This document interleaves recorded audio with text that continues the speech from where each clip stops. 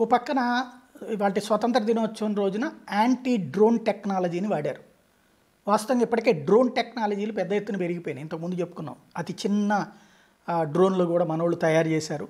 అట్లాగే డ్రోన్లకు సంబంధించిన దాంతో పేలుళ్ళు చంపేయచ్చు పేల్చేయచ్చు ఇట్లాంటివన్నీ తయారైపోయినాయి.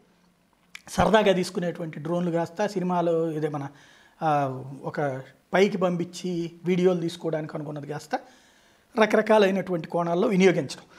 అయితే లేటెస్ట్గా స్వతంత్ర దినోత్సవం రోజున మామూలుగా అయితే ఇదివరకటి రోజుల్లో మన్మోహన్ సింగ్ కానీ అంతకుముందు ఉన్నటువంటి ప్రధానమంత్రులు కానీ ఈ ముందు బుల్లెట్ ప్రూఫ్ జాకెట్లతో ఎందుకు వచ్చిన గొడవ అనేటువంటిది సెక్యూరిటీ వాళ్ళు చెప్తారు దాంట్లోనే చేస్తుంటారు. అయితే మోడీ మాత్రం తను పదవి ఎక్కినప్పటి నుంచి ఇప్పటి వరకు కూడా అలాంటి దానికి ఒప్పుకోవట్లేదు.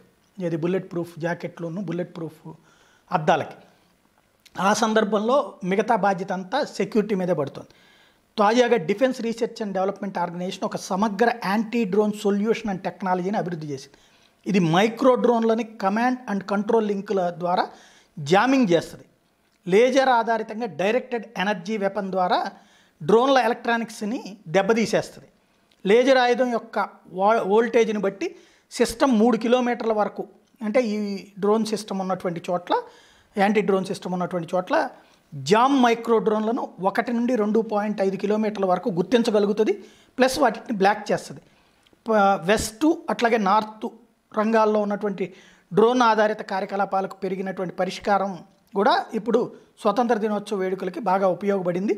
ఈ ఎర్రకోట దగ్గర ఈవేళ ఈ యాంటీ డ్రోన్ సిస్టమ్స్ని ఇన్స్టాల్ చేసింది డిఆర్డిఓ. దీంతో ఒక పెద్ద చేంజ్ అనేటువంటిది అంటే ప్రధాని ఎవరికి భయపడతా బ్రతుకుతున్నారన్నటువంటిది కాకుండా సగర్వంగా నిలబడుతున్నారు. ఇక్కడ భద్రత గురించి భయపడేటువంటి స్టేజ్లో ప్రధానమంత్రి ఉంటే ఇంకా ప్రపంచానికి ఎట్లాంటి సంకేతం ఉంటుంది? అలా లేకుండా చూసుకోవడంలో కూడా సక్సెస్ అయ్యారు.